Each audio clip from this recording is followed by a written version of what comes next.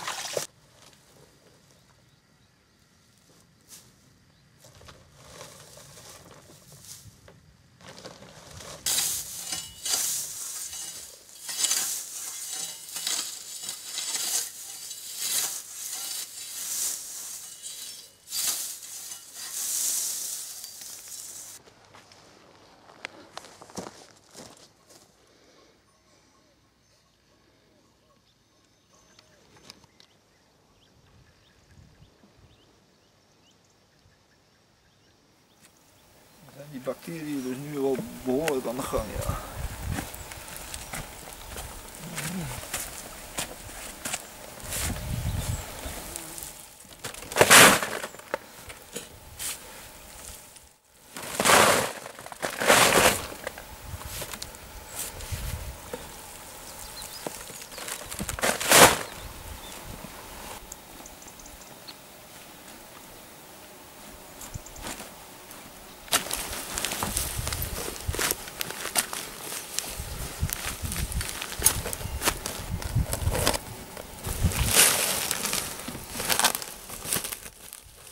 Dat je, als je er hier doorheen kunt steken zo, Ja.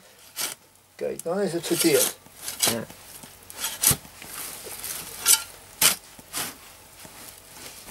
Kijk.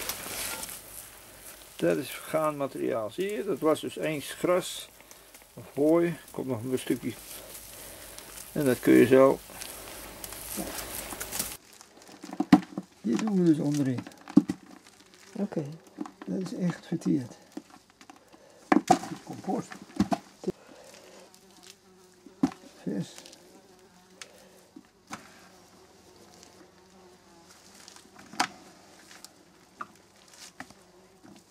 Kijk, al die laagjes die vind je dan weer terug. Zie je? Ja.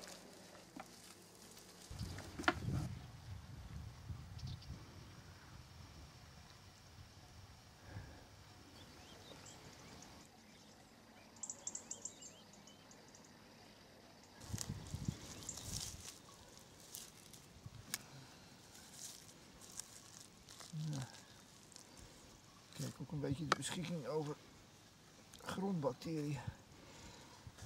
Die zijn ook gunstig.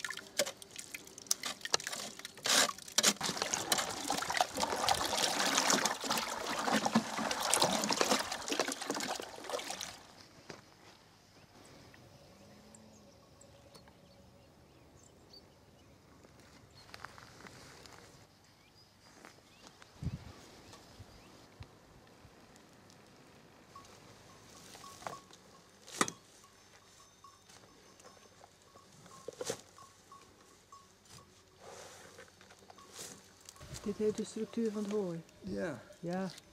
Het is alleen maar nat gemaakt eigenlijk. ja. Het heeft wel gebroeid, hè? Nu wel min of meer.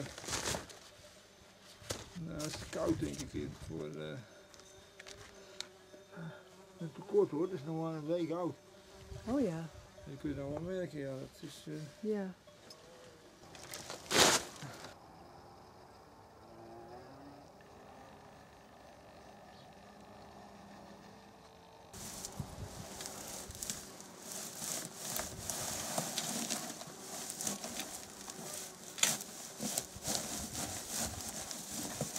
Een nestje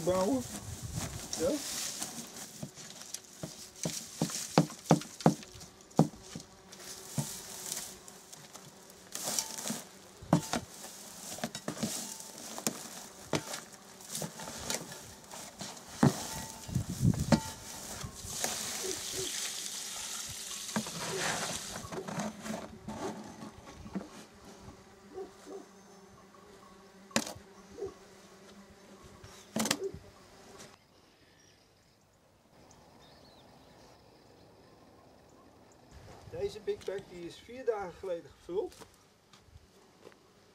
Deze is een week geleden gevuld.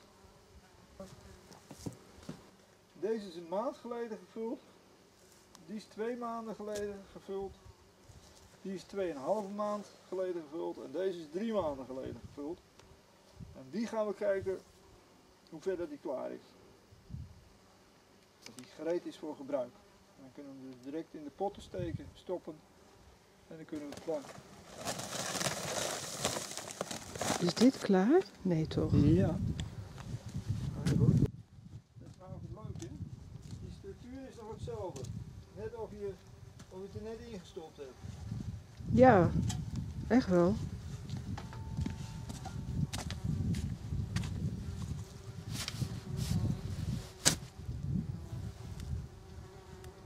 Dat bedoel je, dat als je er zo doorheen kan Ja. steken, dan is het klaar. Klaar ja. Als pudding. Wat hem nog tegenhoudt is gewoon de compactheid.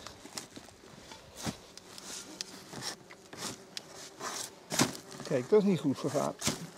Dat heeft op de buitenkant gestaan, Oh in ja, de wind. ja.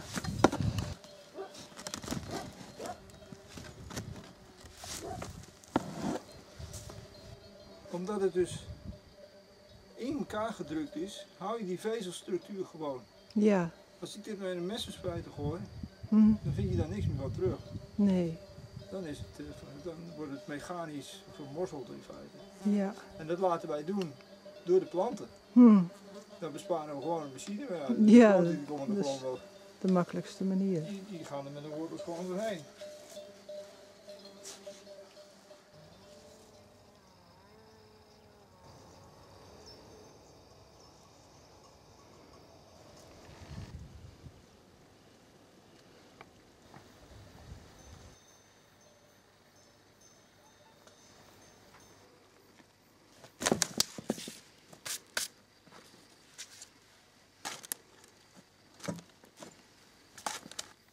Alles wat er over is van een paprika plant.